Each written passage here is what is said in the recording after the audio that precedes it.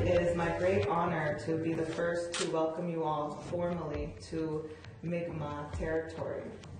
Tonight, incomplete. Why some people say a high school's new territorial acknowledgement doesn't go far enough. It's a surprise, I think, to a lot of people. She is their second executive director. She brings to a total 21 people now that have left. Grandchildren Over and out. and Another for high coming profile together resignation showing each other at the National. Inquiry into Missing and Murdered. Indigenous Women and Um, Girls. You know,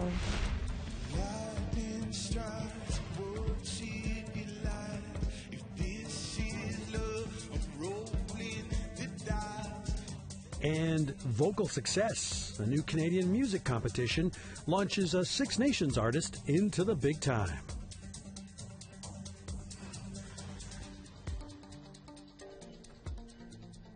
Good evening, I'm Rick Harp. Welcome to APTN National News. We begin tonight in Halifax, where the Regional School Board has made land acknowledgements mandatory in all of its schools, only the third board to do so in all of Canada.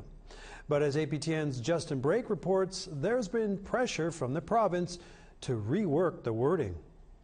The land acknowledgement's official wording does not include a term used by most Mi'kmaq to describe a key part of history unceded. Jessica Rose is the school board's Mi'kmaq representative. She said it was the board's lawyers and the provincial government who directed the school board not to use unceded in the land acknowledgement, which is now heard by upward of 48,000 students each morning.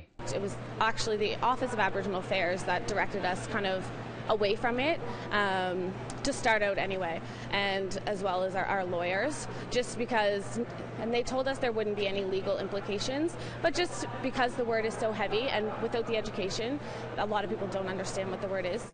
Meanwhile, others are pushing for the term's inclusion. It is my great honor to be the first to welcome you all formally to Mi'kmaq territory, the unceded traditional territory of the Mi'kmaq people. On Wednesday, Rebecca Moore read the inaugural land acknowledgement at her former junior high school in Halifax. with the knowledge that it is unceded Mi'kmaq territory, because that's something that's still being challenged by, you know, like the greater population of Canada. And um, so they will know the facts, and it's a great education opportunity, and that's what this is really about. The school's principal, Robert McMillan, said it's important his students know the truth about where they live and learn. So our hope is the more that we get the message out there that we are actually on traditional unceded lands of indigenous peoples, the more they hear that, I'm hopeful that the more they will appreciate our history and understand what has happened uh, to the indigenous peoples of Canada. McMillan said he will bring his concern over the omission of the term unceded to the school board. Because it's an important part of the whole reconciliation process, because the lands do belong to indigenous people and they haven't been taken, we haven't taken it from them, they still own it, and we need to acknowledge that. Moore said the unceded acknowledgement is a necessary step toward reconciliation. This is the true spirit of peace and friendship and reconciliation. And, and this school has done an excellent job reconciling with me, one of its Indigenous students. APTN contacted Nova Scotia Premier Stephen McNeil's office Thursday. In 2013, McNeil appointed himself Minister of Aboriginal Affairs. He declined to comment for the story. Rose said the school board's decision to omit the word unceded from the land acknowledgement is not set in stone and that the board could review its decision at a future meeting. Justin Brake, APTN National News, unceded Mi'kmaq territory. And joining us with a little bit more on that story from Halifax is APTN's Justin Brake. Justin, did the Premier's office say why it declined to comment on this? Well, I spoke with the Premier's press secretary, David Jackson, today. He said the Department of Aboriginal Affairs uh, isn't aware of who said what to whom in terms of uh, communication to the school board. Uh, they said they're going to look into it, but in the in the meantime, the premier couldn't offer a comment on the situation. I did ask uh, the the press secretary if what the premier, if he could comment just on the idea of uh, unceded uh, territory and uh, whether he could say whether or not he disputes that uh, the, the, political jurisdiction he operates is on unceded Mi'kmaq territory. Uh, the press secretary again said that the premier couldn't offer any comment on that today. It's not the latest incident of a Canadian uh, politician at the federal, municipal, or provincial level uh, in recent times uh, being reluctant to or refusing to acknowledge that uh, the, that this is on that we are on unceded Mi'kmaq territory. Just the other night, Tuesday, uh, Prime Minister Justin Trudeau was in Lower Sackville. And following a Mi'kmaq land acknowledgement there, he took to the floor and thanked the two uh, the two men, including an elder who gave the land acknowledgement. And Trudeau himself acknowledged that he was on the traditional land of the Mi'kmaq, but did not acknowledge uh, that he was on unceded Mi'kmaq land, despite the fact that that word was included in that land acknowledgement. And of course, last summer, at an Indigenous ceremony held here in Halifax uh, at the Edward Cornwallis statue, the uh, controversial founder of Halifax who uh, issued uh, a bounty on Mi'kmaq scalps. Mm. the, stat- the statue where there was a ceremony being led, the mayor of Halifax, Mike Savage, addressed the crowd and was acknowledging that he was on Mi'kmaq territory. The crowd actually cut him off and pressured him to say the word. They said, Say it, say it, say it. And the mayor finally acknowledged publicly that uh, Halifax is on unceded Mi'kmaq territory. So it remains to be seen whether or not Premier Stephen McNeil will acknowledge that the province of Nova Scotia is on unceded Mi'kmaq territory. Uh, we, they said uh, we said that APTN would be following up with them soon. Thank you very much, Justin. Thank you. Moving to the other side of the country now, where we bring you an update on a story we brought you yesterday about a protest camp set up outside of Kinder Morgan's tank farm in Burnaby, BC. As APTN's Tina House reports, last night saw things take a violent turn. This Facebook Live video shows RCMP officers coming in force and storming their way into the trailer known as Camp Cloud. They arrested two elderly women inside. This is what Camp Cloud looks like today. Witnesses say police used a battering ram to open the trailer door, destroying it. Uni Urchin, who was on top of the roof yesterday, preventing officers from towing the trailer, says she wasn't arrested after the police cut a deal. They promised that if she came down, they would not remove the trailer. Started to just go ahead in here and smash it with this big giant black pipe from what I can see above. And, um, and so it's now um, ripped our door apart. They've smashed the window and the, the, the handle here, so we're not able to close it. Suitlut is from the Squamish Nation, and she witnessed the takedown. It felt very, very violent. We had some youth here sitting and uh, witnessing what went down. The two unidentified women that were in the trailer were taken away by RCMP, but not charged. Ultimately, they were released within an hour. I'm against Kinder Morgan myself. Water sacred, water's life. The pipelines do not need to go in. It's all about money corporations making money, not BC, not the people up here, but corporations from Houston, from Texas. Today, RCMP are gone. We requested an interview from Kinder Morgan and the RCMP, but both have not responded. A few more people have arrived today to support the activists. Tina House, APTN National News, Burnaby. We invite you to comment on this or any other story you see on the broadcast. Here's how to contact us. Send an email to news at aptn.ca, like our APTN National News Facebook page. Follow us on Twitter. APTN News is our handle, or go to our website, aptnnews.ca. There has been yet another high profile departure at the National Inquiry. The news broke as the staff is halfway into a team building exercise. Kathleen Martens is here now with the latest. So, Kathleen, big news. We've just learned today that the executive director has stepped down. What do we know about that so far? Yeah, Debbie Reid, she came in in October. She was a, touted as somewhat of a savior. She was going to uh, get a firm grip on some of the management issues that were going on there, a lot of resignations. Uh, she came in a little bit heavy handed, people felt, a kind of bull in a china shop. Uh, she fired some people.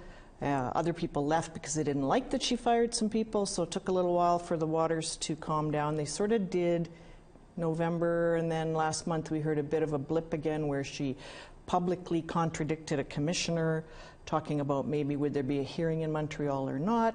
But uh, it's a surprise, I think, to a lot of people. She is their second executive director. She brings to a total 21 people now that have left. What's your sense of why there's such turnover? Yeah, like like people always have to point to management, right? Somebody has to wear it. Somebody's responsibility. Uh, that would be the chief commissioner, Marion Buller. Uh, we have asked her before on camera. She has said that people leave for personal reasons. And uh, she's not going to stand in anybody's way. She has treated it very um, professionally and sort of impersonally. So we don't really know. Other than one person who left saying they did not like the way the new executive director, Debbie Reid, had uh, been talking about staff you know, in sort of internally. They didn't like uh, her attitude and didn't feel she was supporting staff, so they quit. So, very quickly now, where does the inquiry go from here? Yeah, they've got a hearing uh, scheduled for three days in Yellowknife at the end of the month, where we're going to be asking about what are they going to do now that they don't have an executive director. And apparently they're supposed to be maybe or maybe not asking for an extension. So lots of things still in the air, never mind just losing an executive director. Thank yeah. you. Okay. Well, time to take a break here on the program. When we come back, we'll talk to you about uh, new changes to the quota on hunting polar bears. Please stay tuned. Right now, your first weather update. Hello, I'm Todd Lamirande, and here's what's coming up on Nation to Nation. Yesterday, Public Safety Minister Ralph Goodale announced big dollars for Indigenous police services. Nishnawbe Aski Nation Deputy Grand Chief Derek Fox tells me if it's enough to modernize their police force.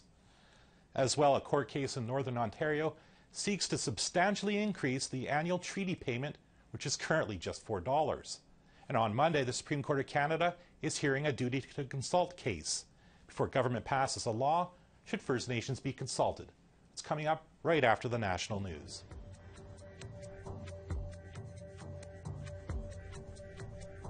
Cloudy and 6 in St. John's, rain and 10 in Fredericton. Inukjuak, snow and minus 27, Nain minus 12 in snow. Val-d'Or, a sunny minus 14, a cloudy 9 in Gaspé. Sarnia, mostly cloudy, 0, Ottawa, snow and 8. Sioux Lookout, cloudy, minus 22. Timmins, sunny and minus 21. Thompson, minus 23 and sun. Churchill, sun and minus 24. Gimli Harbor, a sunny minus 19. Berens River, a bit of cloud and minus 22. Saskatoon, a sunny minus 24. Yorkton, a sunny minus 23. Uranium City, minus 27 and sun. La Ronge, sun and minus 25.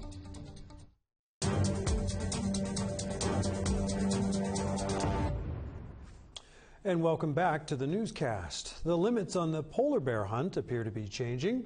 In the Baffin Bay region, the quota is going up. Meanwhile, another region is debating whether more bears should be harvested there.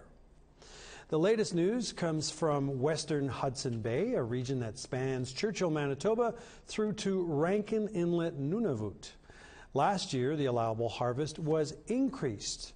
Nunavut Tunngavik, the land claim body, wants the quota held at the limit of 34. But the government of Nunavut wants the old quota back, 28 every year. And the Kivalliq Wildlife Board wants to allow up to 45 polar bears a year. The Nunavut Wildlife Management Board gets to make the ultimate decision with the approval of the territory's environment minister. The season opens this July 1st. Starting a small business can be daunting, but it can also be a labor of love.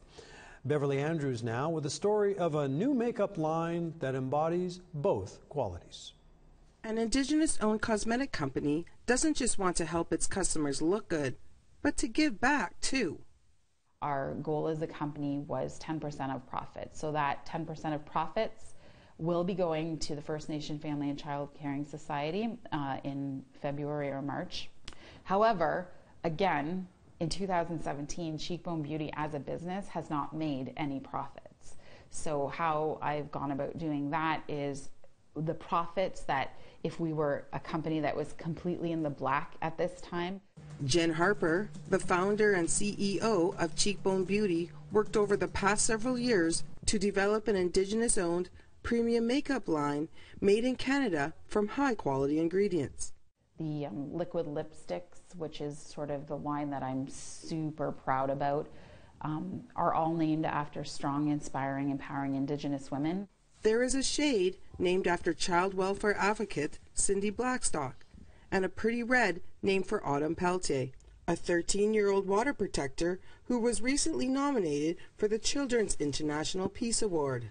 The line also includes lip gloss, brow gel, contour, and highlighting kits. We're a cosmetics brand, so if you were to walk into Sephora, we were, we're a high quality premium makeup brand, just like one of the brands you would see on the shelf there. It takes time to build a business. Most do not make money in the first few years. It's small steps along the way to build success. Every single day, what are you doing today that's going to make you better for the next day, then the next day after that, then the next day after that, then the next week, month, year, and so on. So it's all the individual things that we're doing on a daily basis. Cheekbone products are currently available online. Beverly Andrews, APTN National News, St. Catharines, Ontario. 34 years. That's how long Philip Tallio has been in jail. He's there because of a heinous crime the rape and murder of toddler Delavina Mack. A crime Tallio says he never actually committed. Here now, a preview of Rob Smith's APTN Investigates episode A Case for Innocence.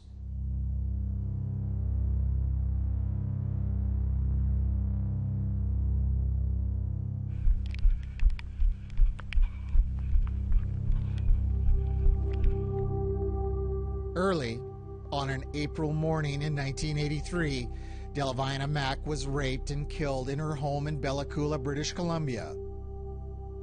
She was just 22 months old. 17 year old Philip Tallio was convicted of her murder. Despite a guilty plea, Tallio insists he's innocent. He's now spent over three decades in prison.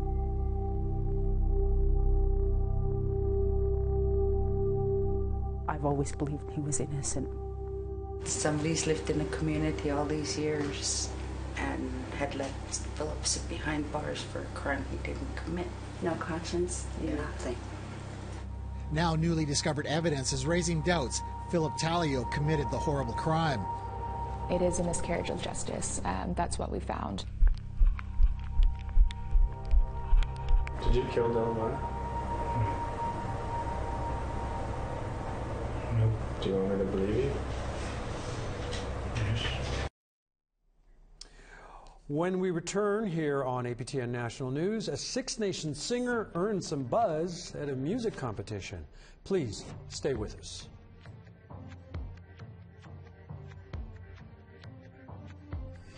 Lots of sun in northern Alberta, high level, minus 28. Minus 23 and sunny in Edmonton, partly cloudy, minus 16 in Lethbridge. Port Hardy, rain and 5. Quesnel, minus 15, mostly cloudy. Fort Nelson, minus 28 and sun. Prince George, mostly cloudy, minus 16. Beaver Creek, minus 32 and sun. Old Crow, minus 39 and sun. Rae Lakes, a sunny minus 29. Fort Liard, minus 30 and sun. Inuvik, minus 27 and sun. Colville Lake, minus 33 and sun.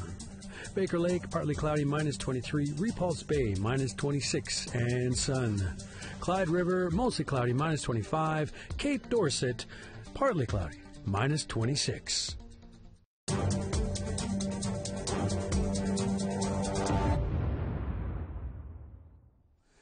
And before we leave you tonight, a new Canadian music competition show hit the airwaves last night. It's called The Launch, and it premiered on CTV. The program hopes to help kickstart the careers of emerging artists. And the winner of the first episode, Six Nations artist Logan Staats.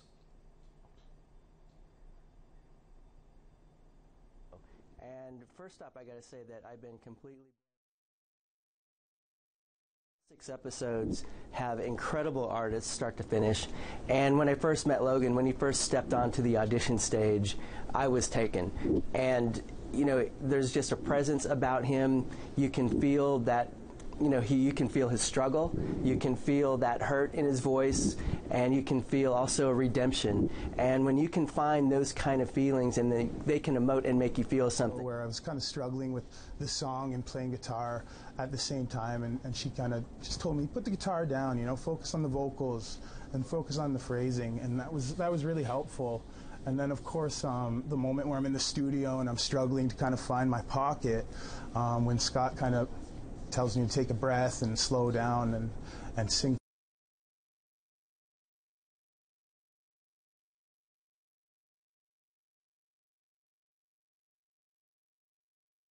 Now, as I understand it, Staats beat out two other artists with his song, The Lucky Ones.